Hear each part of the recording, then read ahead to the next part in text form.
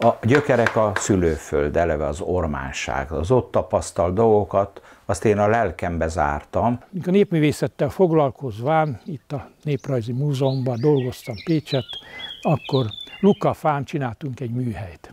Így lett ő munkatársam egy olyan országrésznek a megismerésében, amelyet én a kulcsfontosságúnak tartom a magyarság megismerése szempontjából. Ormánság, arról nekem mindig az jutott eszembe, ahogy beszélt róla, és le is vitt többször a gyökerek. És ő ezeket a gyökereket a mai napig is ápolja. Így többször vele végigjárhattam az ormánságnak a kis falvait, megcsodálhattam a munkáit, játszótereket, haranglábakat, és rengeteg munkáját.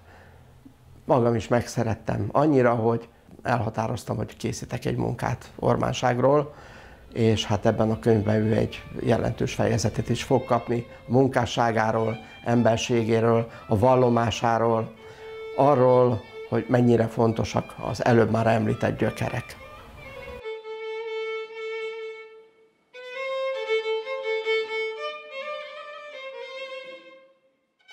A város az azért volt számomra fontos, meg a főiskola, hogy én ott valamilyen módon a tehetségemet palléroztam. Egyre jobban kiteljesedett az a világ, ami, ami alátámasztotta, illetve hátterű szolgált az én alkotói életemnek. A 90-es évek elején adódott lehetőség a templom tatarozására, és akkor én még nem nagyon ismertem a győzőt, a szüleit ismertem meg legelőször, és amikor a templomnak a belsejét kezdtük el festeni, akkor egyszer csak ő megjelent, és jött a gondolattal.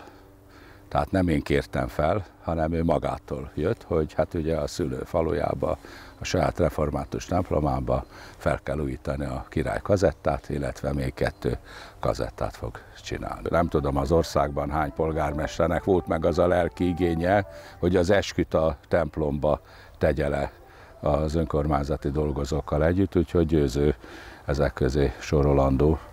Tehát egy nagyon szép alkalmat tartottunk, és attól kezdve ő felelevenítette a régi hagyományokat, mint a katolikus egyház részére is, mint a református egyház részére, illetve valóban lévő ünnepeket, hagyományokat, népszokásokat. Tehát én mindig meghallgattam az embereket, és valóban tudtam kapcsolatokat kiépíteni, és így egy kicsit közéleti emberi váltam.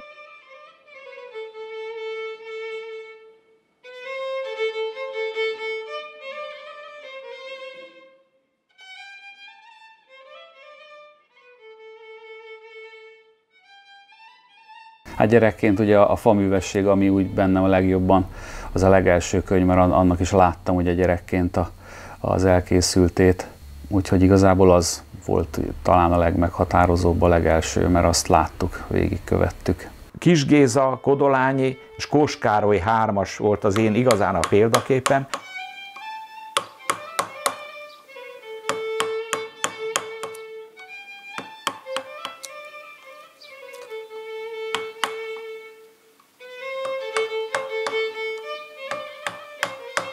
Adjak vissza ebből, amit én tanultam, baranyai tájakból, értékekből, szokásokból, hagyományokból, a szülőföldem különös értékeiből, és a rajzaimba, a festett kazettákba, a kis szobraimba, vagy nagyméretű köztéri famunkáimba, meg a könyveimbe, ezt tulajdonképpen én meg tudom fogalmazni, le tudom írni, képekbe meg tudom mutatni, hogy mi az a világ, amibe én belecsöppentem, és aminek teremtő, alkotó emberévé is válhattam.